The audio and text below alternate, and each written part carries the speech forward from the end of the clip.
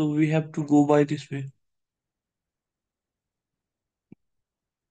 If we take dy by dx all the sides for this equation, for the first equation, we'll get 2ax, 2hy, 2hx dy by dx, 2by dy by dx,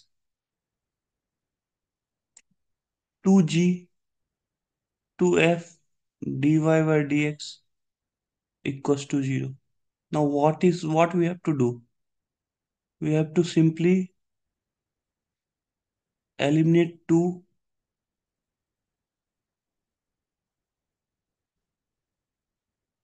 and then proceed further as dy by dx hx plus by plus f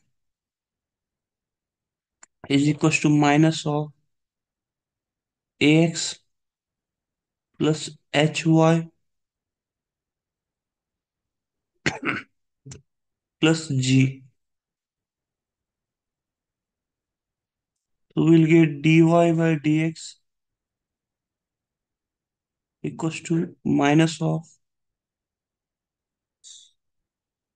ax plus hy plus g upon hx plus by plus f.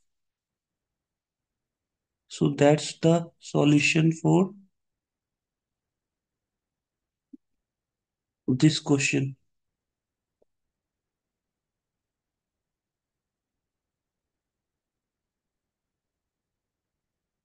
Second,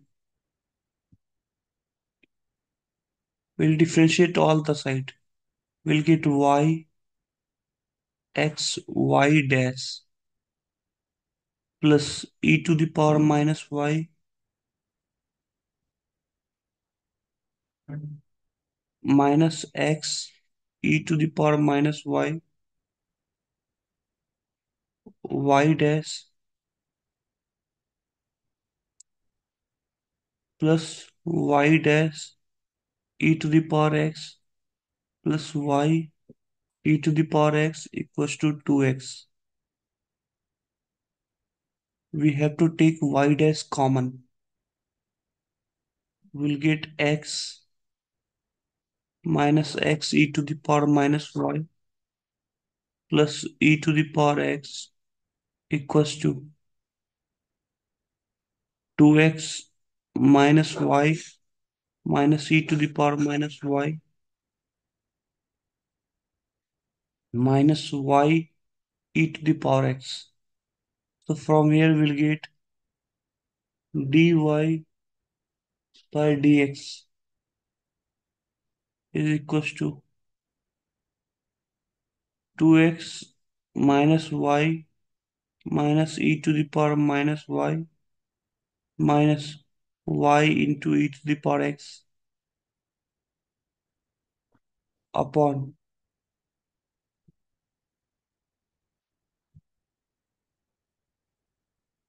x minus x e to the power minus y plus e to the power x.